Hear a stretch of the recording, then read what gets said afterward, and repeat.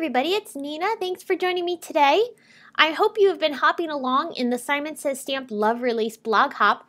I'm going to be sharing a few different ideas for using some of the newest products that are in the release. So one of the things I wanted to show you first was this particular stamp, which is the Cosmos background.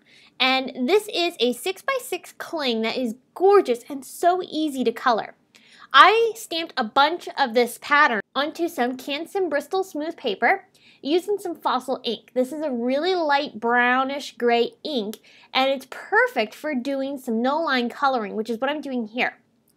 Now this particular card I ended up giving to Heidi at Simon Says Stamps so that way she could use it in the Simon Says Stamp Love Release Facebook Live. So I don't have this particular card to show you the final pictures of, but I will show you how I created it. And then I'm also going to show you some other variations that I did in the same concept. So I took Zig Clean color markers and used a bunch of these markers to color in the flowers in this image. I love being able to use lots of different colors and these Zig markers are so bright. It creates a really beautiful and colorful background. I was doing very simple coloring here. I just added areas of color in the places that I wanted the coloring to be the darkest and then I blended it out with some water and a paintbrush. I'm using the Zen watercolor brushes now I'm not using tons of water because I don't want all of the lines to disappear. Now in some cases I did use a little bit more water to get a more lighter wash. It all depended on where I wanted to add the color and how much I wanted it to blend out.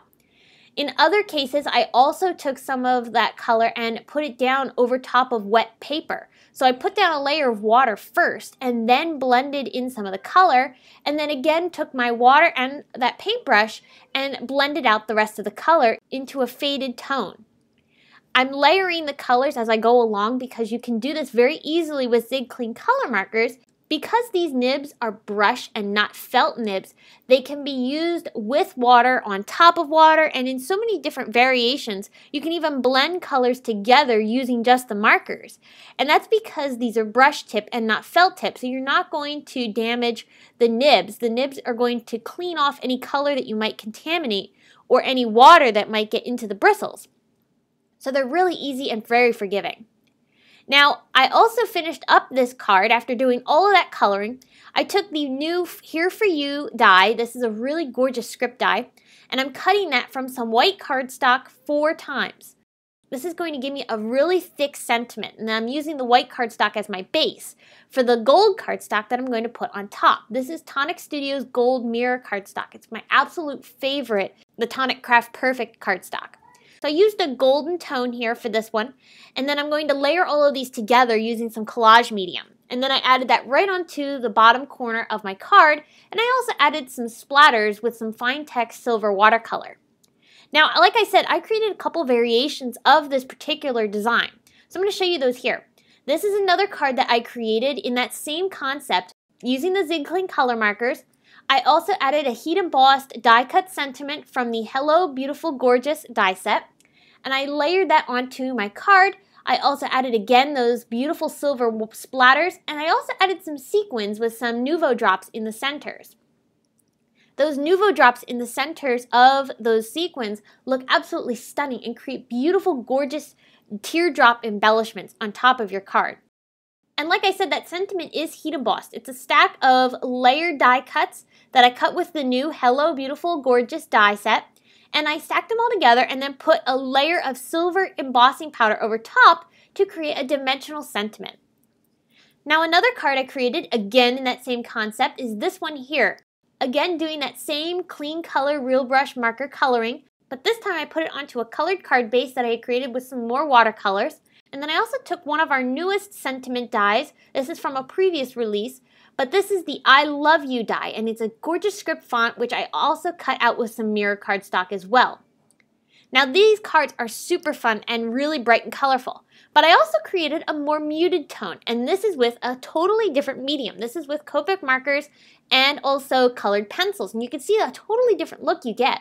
Much more realistic, and in this particular case, it's a much more muted color tone, but it creates a really beautiful effect and totally different results. So like I said, I used Copic markers to color in the base layer of all of these flowers and I added shading, but then I intensified that shading using some colored pencils. And I'm going to show you how I did that here because it's really, really simple. Before I do that though, I want to touch on some of the other things that I used in this card. I used one of our sentiments from the Love and Friendship stamp set, and I also added some beautiful scalloped edging detail using our dotted scallop die set. And again, I put those same Nuvo drops into the centers of some marshmallow confetti sequins. And I really love the muted tone of this card. It's a very subtle and yet very elegant design. So let's talk about that coloring. So I took that same paper, again that I stamped with that fossil ink, and I'm going to take Copic markers. Now in this particular case I'm using pink, but in the other case I used purples and blues for that color combination. But the concept and the technique that I used is exactly the same. So I'm doing this in real time so you can see how I did this. I took a base layer and I added some shading of color in the top and bottom portions of each individual petal. Then I brought in my darkest color and started adding in color into the really darkest areas that I wanted the coloring to have the darkest shading in. Then I'm bringing in my mid-tone and I'm starting to fade out that darkest color and I'm also starting to pull it into some of the lighter areas and I'm being very careful and taking my time because I can always add more if I want additional shading. And I did this for each individual petal. In each flower, I only used three markers, and again, like I said, I went very carefully as I went through and added the shading because I didn't want to add too much all at once. After I added in all of the Copic marker shading, this is where I brought in my colored pencils. Now these particular colored pencils are Derwent pencils, but you can use anything you have on hand, and I basically took one of the pencils and I added in additional shading lines.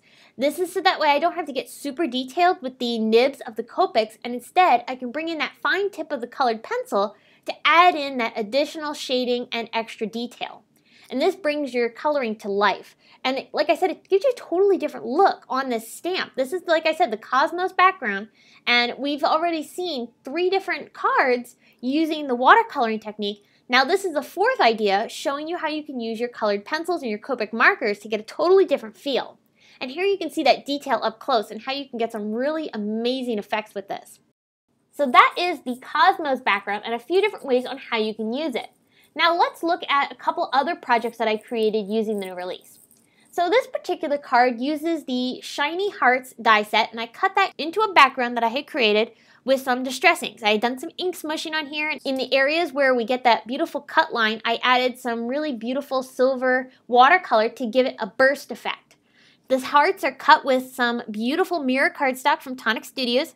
And again, I use that Love and Friendship stamp set from Simon Says Stamp to create the sentiments. Now also in the background on the card base, very subtle, I added some stripes of that silver watercolor paper. That adds just a little bit of interest to the card base and helps bring the whole card together. I also added some really nice edging details to that background panel using one of our Simon Says Stamp scallop stitching dies. The Shiny Hearts die set is super fun and really gives some really nice focal interest to your card design. Now another card I created uses the Cupid's Heart border die. When I saw this, I thought this would look so cute in so many different colors and then layered together to create a dimensional and very colorful effect. So these hearts are really fun and add some nice dimension to your card because I did add them in a certain way to give them a little bit of lift off of the card. Now I have a video showing you how I created this card if linked down at the video description, also on my blog and at the end of this video. So there's a couple of different ways on how you can get to it, but I encourage you to watch the video to see how this card comes together. And I really love the bright and happy colors that were in this card, and I kept the design fairly simple so that way the focal point, the beautiful hearts, really take center stage. So I hope that you will check out the other video that I have created using the new Simon Says Stamp Love release. If you have any questions, please leave them in the comments section below and head on over to my blog to get more information on these cards, including still pictures and products used, and also participate in the blog hop. I will see you again very soon with another video, and until then, thanks for watching!